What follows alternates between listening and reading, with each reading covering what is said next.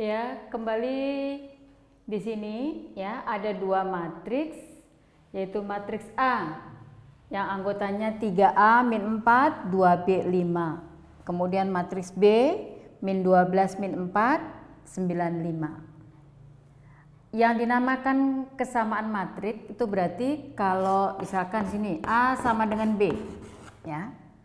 Bisa dikatakan sama apabila ordonya sama yang pertama.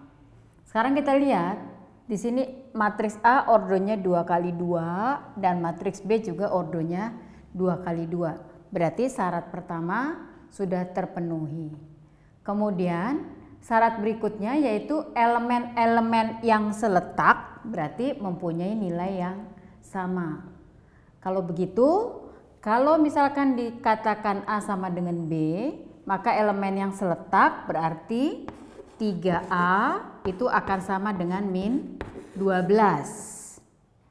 Min 4 sudah sama dengan min 4. 5 juga sudah sama dengan 5. Berarti 3A ini harus sama dengan min 12 dan 2B juga harus sama dengan 9 ya. Maka 3A sama dengan min 12. Kalau ditanyakan berapakah nilai A-nya, Berarti A-nya adalah min 12 dibagi dengan 3 yaitu min 4. Kemudian 2B ya. 2B adalah 9. Berarti B-nya adalah 9 dibagi 2 atau 4,5.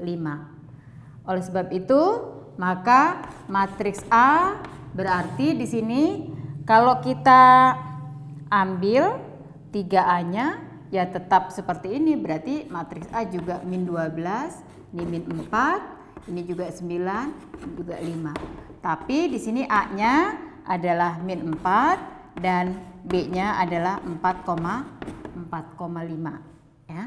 Itu. Kemudian kalau ada matriks yang lain ya. Misalkan ini ada matriks C.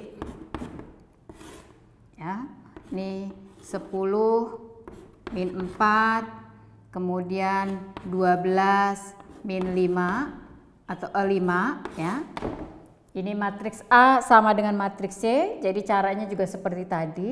Berarti elemen yang seletak dengan 3A berarti 10 dan elemen yang seletak dengan 2B berarti 12 sedangkan yang ini kalau mau dicari berarti juga harus sama misalkan di sini ada C ya. C. Otomatis C-nya adalah sama dengan 5 ya. Nah, itulah yang dinamakan dengan kesamaan dua buah matriks.